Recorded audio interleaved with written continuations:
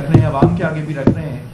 लेकिन इस वक्त जो मैंडेट छीनने का जो सिलसिला था, वो कोई थमा नहीं। है मैं तीन चीज़ों की बात करूँगा।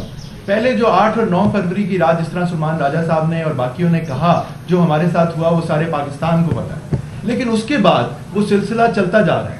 मखसूस नशस्तों का फैसला आया, एक लार्जर, एक फुल बेंच का फैसला आया, पाकिस्तान का, उसके ऊपर अमल दरामद रोक दिया गया है। उसके ऊपर अमल दरामद नहीं हो रहा है। हमारी वो पार्लियामान की सीटें हैं प्रोपोर्शनल रिप्रेजेंटेशन के प्रिंसिपल के तहत, वो हमें नहीं दी जा रही हैं। उसके बाद हमारे जो मुंतखब एम एन ए हम हाजी इम्तियाज़ साहब की बात करें, मंडी बहाउद्दीन से तो उनको देखें, उन जैसे एम एन एस के ऊपर दबाव डालने के कई तरीके अपनाए जा रहे हैं। वो भी हमारा मैंडेट है, वो हक रोका जा रहा है।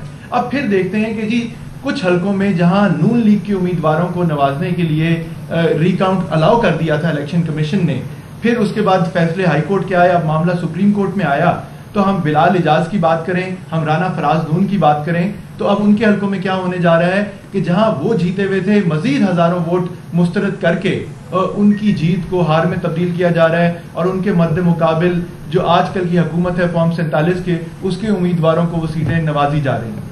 तो बात यह है कि मुझसे मीडिया के ऊपर कई लोगों ने पूछा कि आप इसके ऊपर क्यों तनकीद कर रहे हैं कि आपके हल्के का तो पूरे पाकिस्तान में सबसे कम फ़र्क है। मेरा यूसुफ रजा गिलानी के साथ इनके फॉर्म सैतालीस के मुताबिक 104 वोटों का, एन ए का फ़र्क है।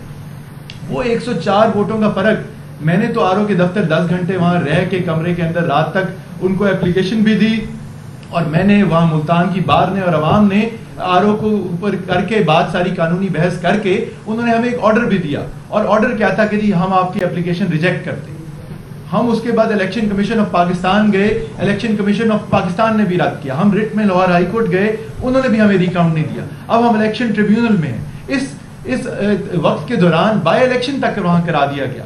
लेकिन आज तक 104 वोटों का हिसाब नहीं हुआ रिकाउंट नहीं हुआ। बात यह है कि अगर रिकाउंट हो भी जाएगा तो वो 104 वोटों को कई दस चार वोट मुस्तरद करके ना कर दें। पहले ही मेरे हल्के में तेरह हज़ार बारह वोट इन्होंने मुस्तरद किए।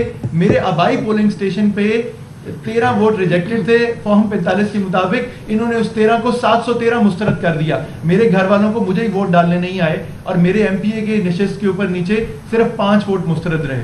मेहरबानो कुरेशी, मेरे साथ वाले हल्के से लड़ी मूसा गिलानी के खिलाफ, इनके हल्के में भी इसी तरह करके सोलह हज़ार वोट मुस्तरद करके इनको हराया गया। तो बात यह है कि इन चीज़ों का एहतसाब कौन करेगा? हम तो पाकिस्तान के पुरमन शहरी हैं। आपको हमारे जैसे मिसाली अगर शहरी मिलते हैं, हमारे सामने ला के बैठाएँ। हम कानून और आइन की बात करते हैं, हम मसावी हकूक की बात करते हैं, हमें आपने पार्लियामान से बाहर रखा। हम अभी भी आवाज़ उठा रहे हैं, हम अदालतों में जा रहे हैं, लेकिन ये सिलेक्टिव जस्टिस का प्रोसेस जो है, इसके ऊपर तो आवाज़ उठेगी। हम सिर्फ़ ये चाहते हैं कि जो इंसाफ दूसरों को मिल रहा है, उसी तरह हमारे साथ भी होना चाहिए। हमारे हलकों में भी रिकाउंट अगर होना है तो सबके सामने हो मीडिया के सामने हो।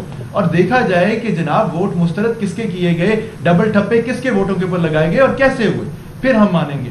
आज तक ना तो मुझे वो वोट दिखाए गए कि किस तरह तेरह हज़ार बारह वोट मुस्तरद किए गए, ना वोटर वोट कंसोलिडेशन का प्रोसेस में शामिल किया गया। शोएब शाहीन साहब ने एक बड़ी अच्छी बात की कि फॉर्म सैंतालीस इनके तीन दफ़ा जारी हुए। मेरे हल्के में भी कमाल यह है कि दो दफ़ा जारी हुए, दस तारीख को। जब वोट रिकाउंट का रिजेक्शन का ऑर्डर दिया गया तो एक फॉर्म सैंतालीस जारी किया गया और बारह तारीख को बगैर बुलाए, बगैर कुछ किए, दोबारा एक नया फॉर्म सैंतालीस जारी किया गया फॉर्म अड़तालीस फॉर्म उनतालीस जारी किया गया। तो ये तो इस तरह का तो इलेक्शन हुआ। लेकिन फिर वही बात कि 8 और नौ फरवरी का सिलसिला एक था, उसके बाद जो वाकयात हो रहे हैं, हमारे जो मेम्बरान पार्लियामेंट है, उन पर दबाव है, मखसूस नशस्तें नहीं दी जा रही हैं, और जो रिकाउंट के चक्कर में जो नशस्तें हमें दे दी गई उस दिन, वो भी छीनने की कोशिश की जा रही है। तो बताएँ हम क्या करें? हम अदलिया से इंसाफ की उम्मीद रखते हैं, हम मीडिया से गुजारिश करते हैं कि हमारी आवाज़ बने। जी बहुत शुक्रिया जी। मैं बसरा साहब से गुजारिश करूँगा मेरे सब दोस्तों ने वैसे तो बहुत तफसीली बात कर ली है लेकिन सिर्फ़ दो तीन बातें कि आठ फरवरी का जो इलेक्शन था उसको हर हरबा इस्तेमाल कर लिया गया तहरीक इंसाफ के ख़िलाफ़। पार्टी तोड़ दी गई प्रेस कॉन्फ्रेंस करवा ली गई। कहा गया था इमरान खान इज़ हिस्ट्री